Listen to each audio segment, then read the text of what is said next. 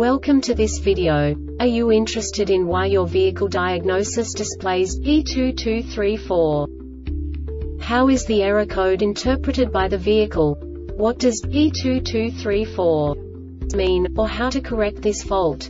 Today we will find answers to these questions together. Let's do this. First, let's look at the history of diagnostic fault code composition according to the OBD2 protocol, which is unified for all automakers since 2000. We divide the electric system of automobile into the four basic units. Powertrain, body, chassis, network. This distribution is defined in the first character code. If the second character is expressed as zero, it is a standardized error. In the case of numbers 1, 2, 3 it is a more prestigious expression of the car-specific error. The third character specifies a subset of errors. The distribution shown is valid only for the standardized DTC code. Only the last two characters define the specific fault of the group. Let's not forget that such a division is valid only if the other character code is expressed by the number 0. Our website airbagreset.sk produces useful videos for you.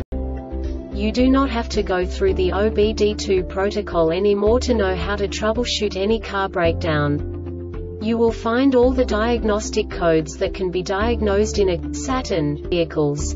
Also many other useful things. The following demonstration will help you look into the world of software for car control units. You unbelievably can move the video a bit further.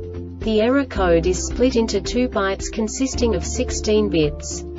One bit is the basic unit that each computer works with. The bit has two logical states. 0, low level, 1, high level. By combining the first two bits, the basic character of the error code is expressed. The next two bits again determine the second character. The last beat styles of the first byte define the third character of the code. The second byte is composed of a combination of 8 bits. The first 4 bits determine the fourth character of the code. And the combination of the last 4 bits defines the fifth character. A single byte conceals 256 possible combinations. We now know in what way the diagnostic tool translates the received information into a more comprehensible format. The number itself does not make sense to us if we cannot assign information about it to what it actually expresses. So, what does the diagnostic trouble code P2234 interpret specifically Saturn car manufacturers? The basic definition is torque sensor circuit malfunction. And now this is a short description of this DTC code. Deviation between torque sensor TRQ1 and TRQ2 exceeds specified value. This diagnostic error occurs most often in these cases. Steering column assembly torque sensor power steering ECU. The Airbag Reset website aims to provide information in 52 languages. Thank you for your attention and stay tuned for the next video.